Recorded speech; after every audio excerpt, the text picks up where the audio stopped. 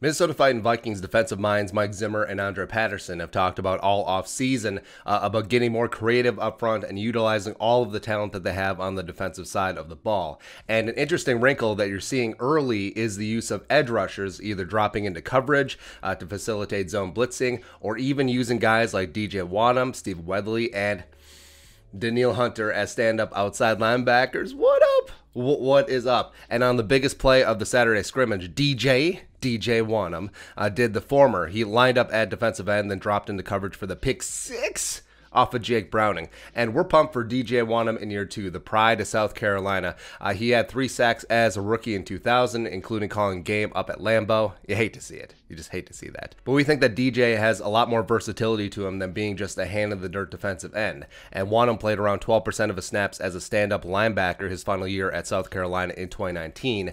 And testing wise, when they drafted Wonnum in the fourth round of 2020, we actually thought that Wonnum compared closer to Anthony Barr than Danielle Hunter, and that 98 could potentially be the heir apparent to 55, especially given how deep the Vikings edge rusher room is now with Danielle Weatherly, as well as third round pick Patrick Jones and fourth round pick Janarius Robinson. It would make sense to use DJ's other talents and get as many of them on the field as possible. Plus, if it's third down and you got DJ Wonnum at strong side linebacker, and then you got Danielle out there, then you got Patrick Jones and Janarius, ah, peeing peeing just a little bit. Mm. So I'm pumped to see what they do with DJ Wamier too. Uh, he has enough coverage skills for a player his size. He can tackle. He can obviously rush the passer, and maybe, maybe he will eventually be that hybrid rushing Sam linebacker that we've wanted Anthony Barr to be for so many years. Maybe DJ Wonnum is finally going to be that guy. Uh, be your thoughts. Vikings using DJ Wonnum in uh, interesting roles. Let us know in the comment section below. Subscribe for daily Vikings takes. I'll support that work post on the Venmo. But until next time, Skol